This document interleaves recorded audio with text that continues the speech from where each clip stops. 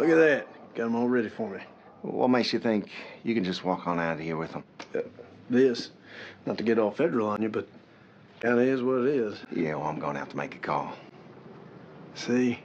There it is. There what is?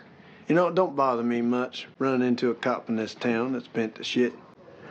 What irritates me is when you call them on it and they give you this look like, how dare you insinuate I'm a piece of shit tarnishing my badge.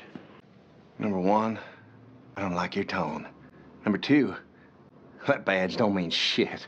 The Marshal Service have spent a lot of time and effort apprehending a fugitive that's now out on the run. And lives are in danger because of it. So every time you open your mealy mouth to lie, I think of that. And I start picturing how you'd look without any of your goddamn teeth.